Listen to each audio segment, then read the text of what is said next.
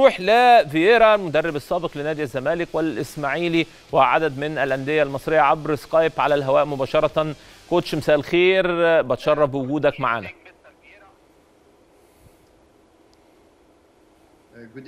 مساء الخير كابتن سيف كيف حالك؟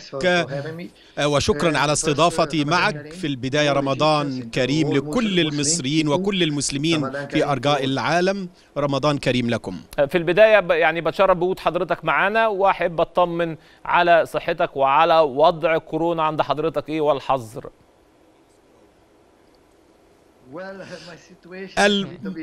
الموقف معقد كما تعلم كابتن سيف منذ المرة الماضية عندما كنت في الاستوديو هنا في مصر.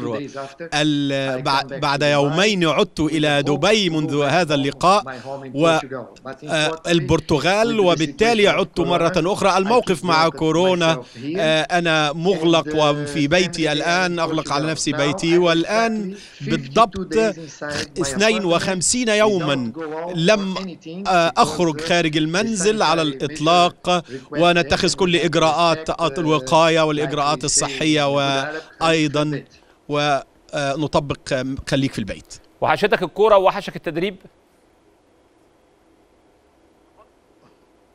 بالتأكيد كثيرا لكن أنا لا أستطيع أن أقوم بالتدريب داخل الشقة أنا الحقيقة تابعت على الفيسبوك بوست حضرتك كاتبه على أيمن رمضان الراحل أيمن رمضان. والحقيقة يعني كان شاهد تعاطف كبير جدا من الناس وناس كتيرة أشادت بحضرتك في هذا الموقف.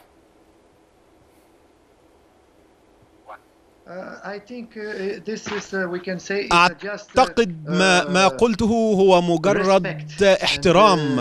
أردت أن أظهر احترام واعترافا بهذا اللاعب الذي كان يعمل معي في عام 1991 في النادي الإسماعيلي. كان شخصية رائعة ولاعبا رائع ومجد في عمله.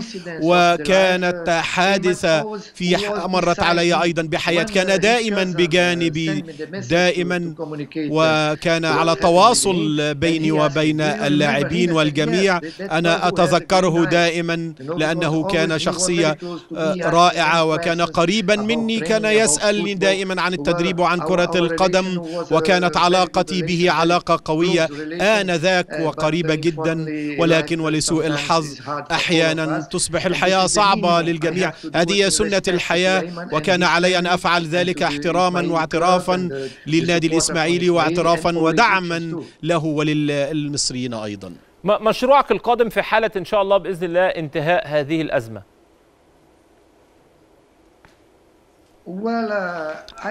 حسنا لدي عقد عقود لبعض الأماكن. ما زلت منتظرا الموقف كورونا وانتهاء هذه الجائحة الآن. لأنك كما تعلم هذا لا يحدث دائما لي فقط إنما يحدث في كافة أرجاء العالم. نتابع الأخبار يوما بعد يوم. لا نعلم ما يخبئه القدر غدا. الموقف الآن ربما يأخذ طريقه نحو الاستقرار.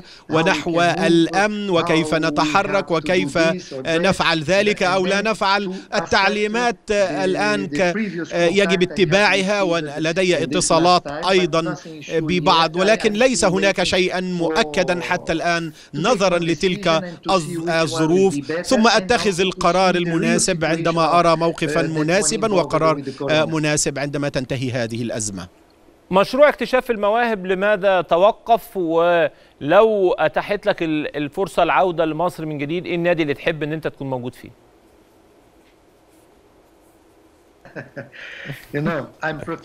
أنت تعلم أنا مدرب محترف وبالتالي المدرب المحترف في كرة القدم لا, لا يجب أن يكون لديه أفضلية للنادي الذي يجب أن يختاره. عندما تعرض علي الوظيفة والمهمة يجب علي أن أقبلها كمدرب محترف.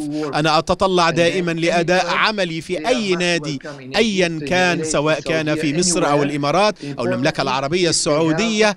وبالتالي إذا كانت النوايا موجودة ولا جيدة. سيكون هناك مشروع جيد لاكتشاف أيضا المواهب وتطوير عملي بشكل مستمر. أيوة بس بغض النظر الاحتراف يبقى الحب هو الحب. هل يعني ممكن تدرب أي نادي في مصر ولا لأ؟ في أندية بينك وبينها عاطفة تحب تكون موجود فيها؟ In نعم know, football أتفق معك.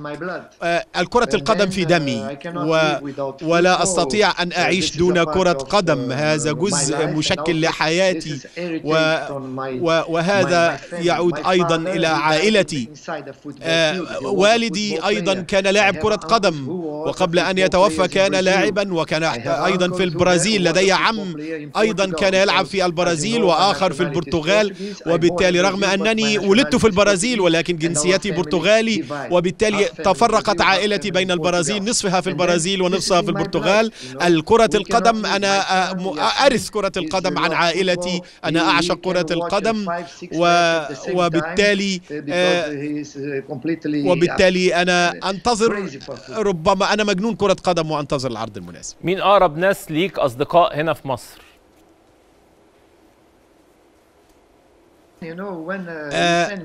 عندما سألتني هذا السؤال لدي أسماء كثيرة.